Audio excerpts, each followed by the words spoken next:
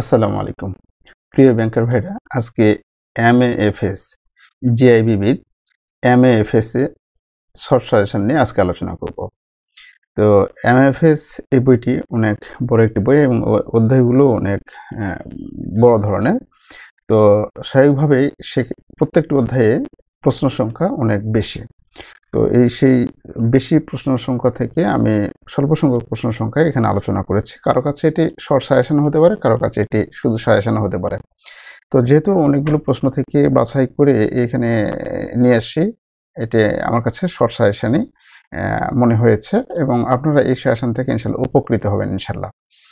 এবং এই suggestion follow করলে আপনারা ইনশাল্লাহ আপনাদের যে পাস মার্ক এটি উঠে আসবে ইনশাল্লাহ। তো আমরা দেখি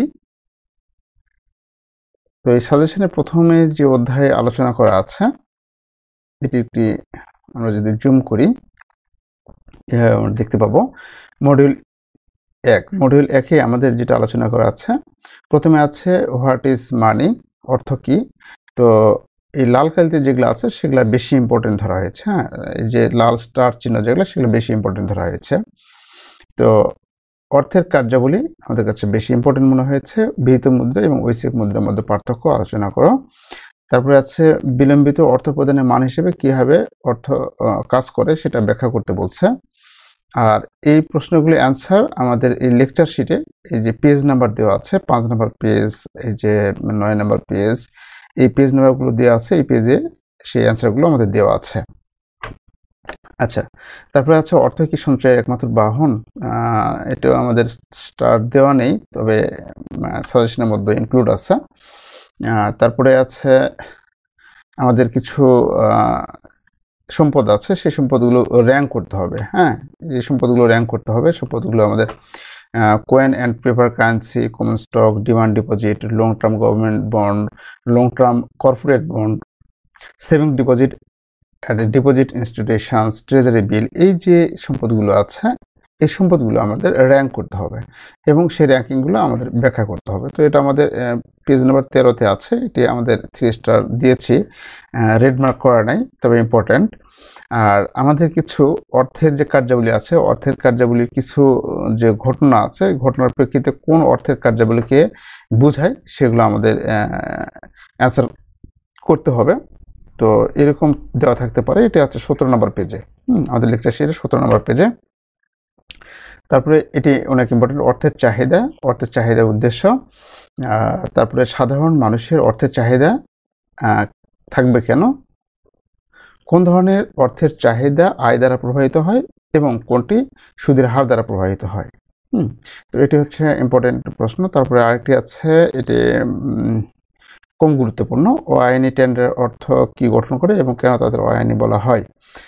আচ্ছা তারপরে আছে ব্যাংক কীভাবে অর্থ তৈরি করতে পারে? একটি একক ব্যাংক কী পরিমাণ অর্থ তৈরি করতে পারে? সামগ্রিক একটি ব্যাংকিং ব্যবস্থায় কি পরিমাণ অর্থ তৈরি করতে পারে? এটিও আমাদের কাছে অনেক ইম্পর্টেন্ট তারপরে আছে, আপনি কীভাবে কার্যকরী এবং নামিক সুদের হারের মধ্যে পার্থক্য করবেন? হুম, আপনি কীভাবে মুদ্রা ব্যবস্থা সংজ্ঞায়িত করবেন? মুদ্রা ব্যবস্থা উপাদানগুলো কি কি? কীভাবে আর্থিক সিস্টেম থেকে ভিন্ন? মানে মুদ্রা ব্যবস্থা কীভাবে আর্থিক সিস্টেম থেকে ভিন্ন? এই প্রশ্নগুলো সবগুলো আমাদের একত্রিশ নম্বর পেজে আছে। মুদ্রা ব্যবস্থার সুবিধা, অসুবিধা আলোচনা করতে বলছে তেত্রিশ নম্বর পেজ কীভাবে বাণিজ্যিক ব্যাংক তার অর্থ সৃষ্টি হয়? এটা হচ্ছে পঁয়ত্রিশ নম্বর পেজে আছে। তো আমাদের অনেকগুলো প্রশ্ন এখানে স্বাভাবিকভাবে আমরা দেখতে পাচ্ছি যে অনেকগুলো প্রশ্ন এখানে আলোচনা করা আছে। কিন্তু এই অধ্যায়টা অনেক বড় হয়, এখানে অনেকগুলো প্রশ্ন আরও আছে, তার মধ্যে থেকে এই কটি বাছাই করে- করেছি আর কি। তাছাড়াও আপনারা কিন্তু সবগুলো অধ্যায়, যতগুলো অধ্যায়, যতগুলো মডিউল আছে, সবগুলো মডিউল কিন্তু দেখবেন না, সহজ সহজ যে মডিউলগুলো থাকবে, সেই সহজ মডিউলের মধ্য থেকে মানে সবগুলো মডিউলের মধ্যে থেকে সহজ যে মডিউল ছয়টি মডিউল আপনার চুজ করবেন, আপনার পাঁচটি লিখতে হবে, পাঁচটি লিখতে হবে, পাঁচটি অ্যান্সার করতে হবে, ছয়টি মডিউল চুজ করবেন আপনারা, হুম। ছয়টি মডিউলের মধ্যে আপনাদের পাঁচটি লিখতে হবে, পাঁচটির মধ্যে একটি টিকা থাকে, হুম, টিকা সাধারণত আমরা অ্যান্সার করি। তো আপনারা পাঁচটি অথবা ছয়টি মডিউল আপনারা এখানে সিলেক্ট করবেন, সবগুলো নেবেন না। যেগুলো, যে মডিউলগুলো সহজ মনে হবে আপনাদের। আচ্ছা মডিউল টু হচ্ছে পেমেন্ট সিস্টেম এই পেমেন্ট সিস্টেমে এখানে অল্প কয়েকটি প্রশ্ন দেওয়া আছে। আপনি পেমেন্ট সিস্টেম বলতে কি বোঝেন? এটা স্টার মার্ক করা নাই। তবে সাজেশনের মধ্যে ইনক্লুড আছে। এই যে লাল কালিতে যেগুলো সেগুলো ইম্পর্টেন্ট পেমেন্ট সিস্টেমে বিভিন্ন প্রকার বা পদ্ধতি আলোচনা করো। অর্থাৎ পেমেন্ট সিস্টেমের যে বিভিন্ন ধরন আছে, সেগুলো আলোচনা করতে হবে। তারপর আছে নগদ অর্থ প্রদান পদ্ধতির সুবিধা, অসুবিধা আলোচনা করতে হবে। ডেবিট ক্রেডিট এবং প্রিপেড কার্ড পেমেন্ট পদ্ধতির সুবিধা এবং অসুবিধা আলোচনা করো। মোবাইল পেমেন্ট পদ্ধতির সুবিধা, অসুবিধা আলোচনা করো। ইলেকট্রনিক ব্যাংক ট্রান্সফার পেমেন্ট পদ্ধতির সুবিধা, অসুবিধা আলোচনা করো। মোবাইল ওয়ালেট পেমেন্ট পদ্ধতির সুবিধা, অসুবিধা আলোচনা করো। এখানে কিন্তু একটা বিষয় খেয়াল করুন, এই নগদ বাদে এই যে debit card credit card mobile electronic mobile wallet এগুলি সবগুলি কিন্তু আমাদের ইলেকট্রনিকভাবেই আমাদের প্রযুক্তিগত যে ট্রান্সফার সেই ট্রান্সফার দ্বারাই বোঝাচ্ছে। তাহলে একটা অপরের সাথে কিন্তু এই একটা প্রশ্ন যদি আমরা ভালো মতো পড়ি তাহলে কিন্তু এই প্রশ্নগুলো ঘুরিয়ে পেঁচিয়ে কিন্তু এই এই প্রশ্নের অ্যান্সারগুলো আমরা কিন্তু করতে পারি। হুম? তো অতএব এই যে পাঁচ, ছয়, সাত, আট এই যে প্রশ্নগুলো আছে, এই প্রশ্নগুলো কিন্তু আমরা ঘুরিয়ে পেয়েছি। একটা প্রশ্নের যদি সুবিধা অসুবিধা ঠিকমতোভাবে আমরা পড়ি, তাহলে কিন্তু ওই ওগুলো কিন্তু ঘুরে পেঁচিয়ে লিখতে পারব আমরা হ্যাঁ? আচ্ছা। তারপরে আছে অর্থ প্রদান ব্যবস্থা কীভাবে আর্থিক ব্যবস্থা এবং মুদ্রা ব্যবস্থা থেকে আলাদা? আরেকটু কথা বলি, যেহেতু আমাদের এটি প্রফেশনাল পরীক্ষা, সেহেতু এই যে প্রশ্ন সরাসরি দেওয়া আছে হ্যাঁ এরকমভাবে নাও থাকতে পারে। তবে এই প্রশ্ন দেওয়া থাকবে, বিভিন্ন রকমভাবে ঘুরে পেঁচে দেওয়া থাকতে পারে। প্রশ্নটা খুব সাবধানে পড়বেন এবং প্রশ্নটার মানেটা বের করার চেষ্টা করবেন। এর মধ্যেই থাকবে ইনশাল্লাহ। তারপরে ইএফটি প্রদানের বিভিন্ন উপাদানগুলি আলোচনা করো। এটা হচ্ছে আমাদের অর্থ প্রদান ব্যবস্থা, অর্থ প্রদান ব্যবস্থা পেমেন্ট সিস্টেম পেমেন্ট সিস্টেমে অধ্যায়ের এগুলা। তারপরে আছে মডিউল থ্রি মডিউল থ্রিতে আছে ফাইন্যান্সিয়াল সিস্টেম কোশ্চেন এই অধ্যায় হতে দুই থেকে তিনটে প্রশ্ন থাকবে। এই অধ্যায় থেকে দুই থেকে তিনটে প্রশ্ন থাকবে। তো এখানে আছে অর্থায়নের প্রত্যক্ষ, পরোক্ষ মোডের মধ্যে পার্থক্য আলোচনা করুন।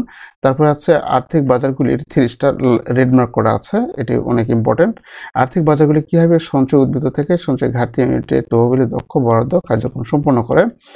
তারপরে আছে, রুডিমেন্টারি ফাইন্যান্সের স্বতন্ত্র বৈশিষ্ট্যগুলো কী কী? তারপরে আছে উদ্বৃত্ত ইউনিট এবং ঘাটতি ইউনিট। উভয় কেন অর্থের প্রত্যক্ষ মোড থেকে পরোক্ষ মোড পছন্দ করে?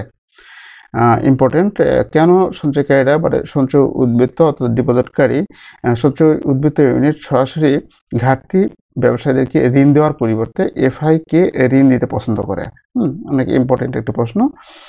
তারপরে আছে ওটার অথবা দেওয়া আছে যে কেন সঞ্চয়কারীরা প্রাইমারি সিকিউরিটিজ থেকে সেকেন্ডারি সিকিউরিটিজ বেশি পছন্দ করে? আচ্ছা তারপরে আছে প্রাথমিক সিকিউরিটিজ এবং সেকেন্ডারি সিকিউরিটিজের মধ্যে পার্থক্য।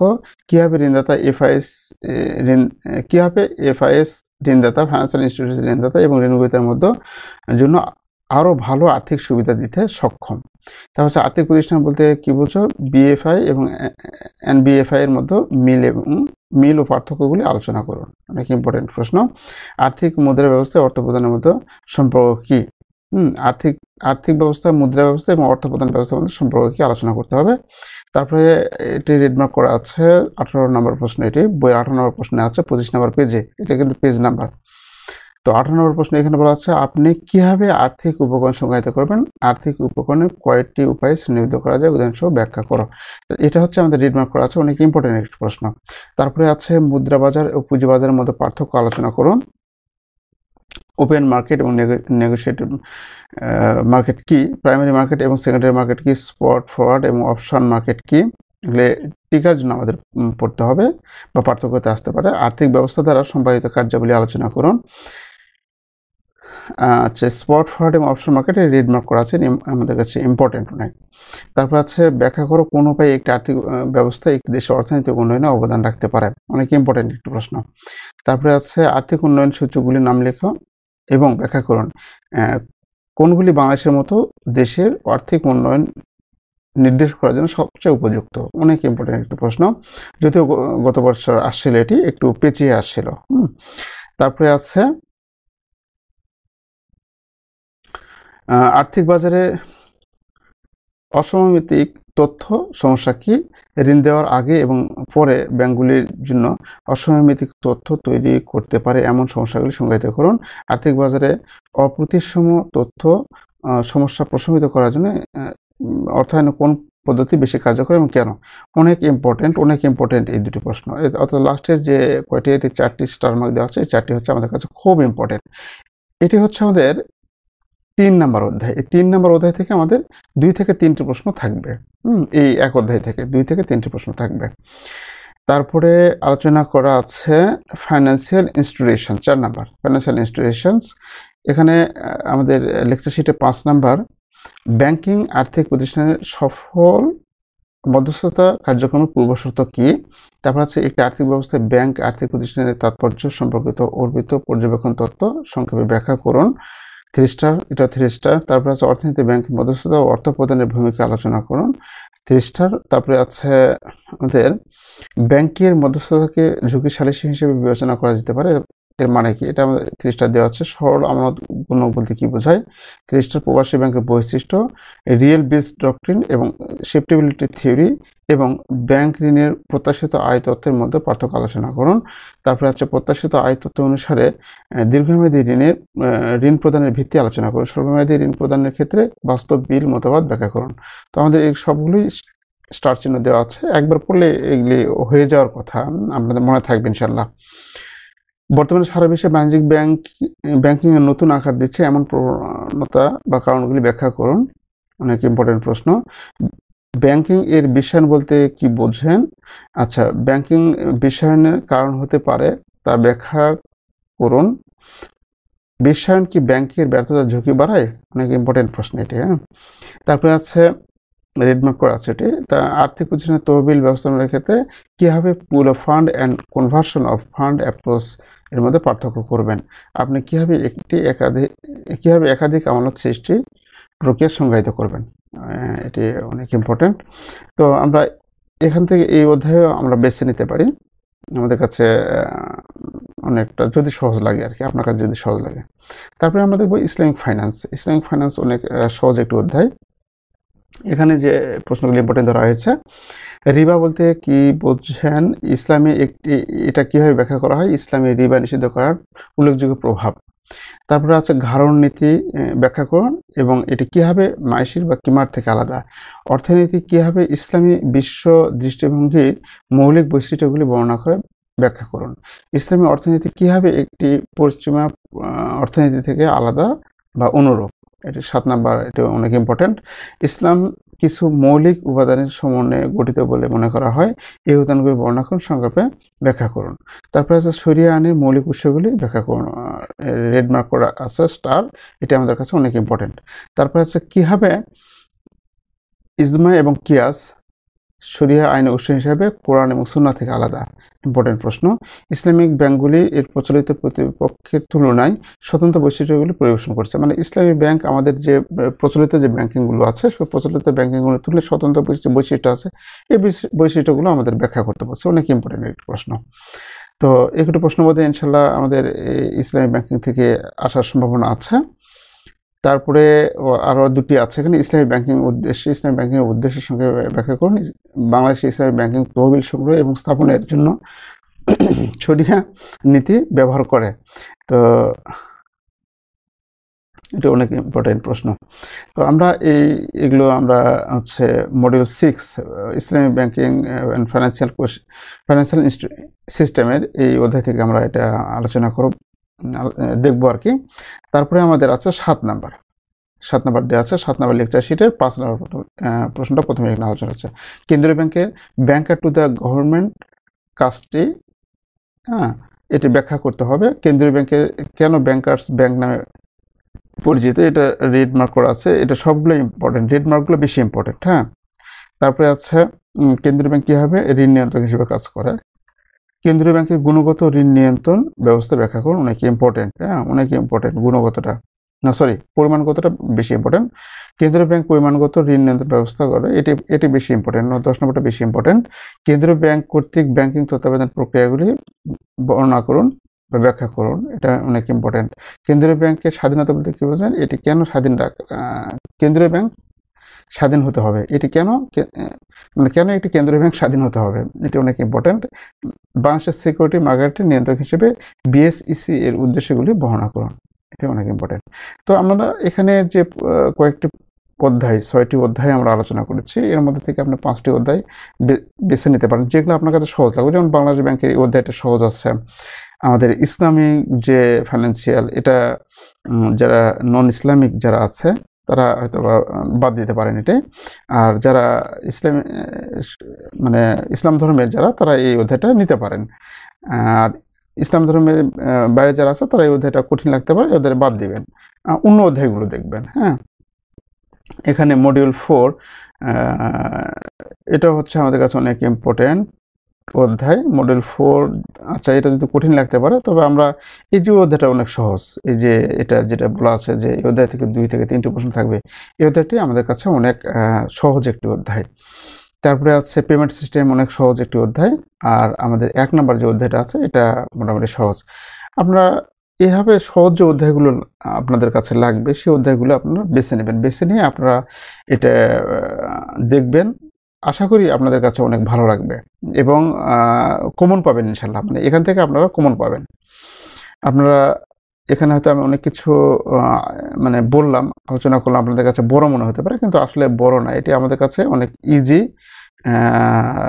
লাগবে এবং এটা আমরা সহজেই এখান থেকে প্রশ্ন কমন পাওয়ার সম্ভাবনা আছে। তো, ভিডিও আর বড় না করে প্রিয় ব্যাংকের ভাইরা, আজকে এখানে রাখছি। যদি আপনারা উপকৃত হন, তাহলে আমাদের জন্য দোয়া করবেন। আমার এবং আমার ফ্যামিলির জন্য দোয়া করবেন। সকলে যেন সুস্থ থাকি এবং আপনাদের জন্য অনেক অনেক দোয়া ও ভালোবাসা রইল। আপনারা সুস্থ থাকেন সবল থাকেন, যেখানে থাকেন ভালো থাকেন। আপনাদের সর্বাঙ্গীন মঙ্গল কামনায় এখানে শেষ করছি। আল্লাহ হাফিজ।